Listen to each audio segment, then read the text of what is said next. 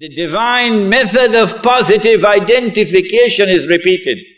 As the son of Mary comes down in the masjid, Imam al-Mahdi says, here he is, this is the son of Mary. And history repeats itself.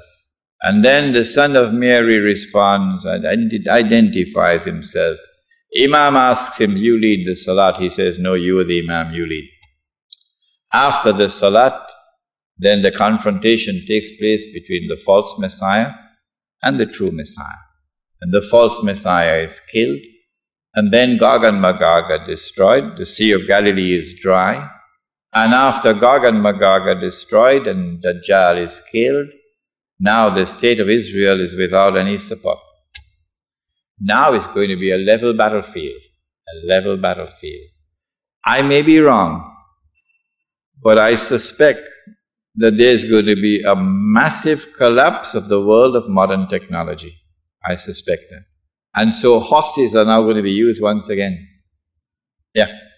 The army now comes out of Khorasan, and that army attacks and destroys the state of Israel. The first time it was a Babylonian army.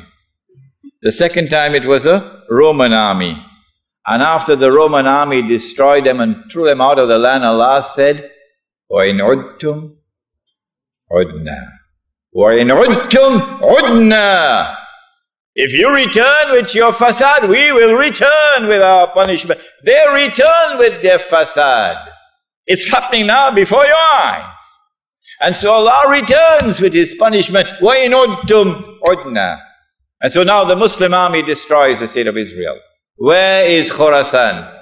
In the time of the Prophet alayhi salatu wasalam, has been researched by the eminent Pakistani scholar Dr. Israr Ahmad and he has explained that Khorasan is that territory which extends from northwest Pakistan, the Pathan belt, northeast Iran, the whole of Afghanistan and the territory north of Afghanistan. But clearly Afghanistan is in the heart of Khorasan.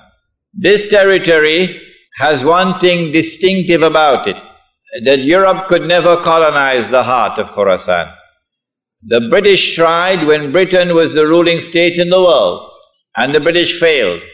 And then the Russians tried when they had the superpower, the Soviet Union.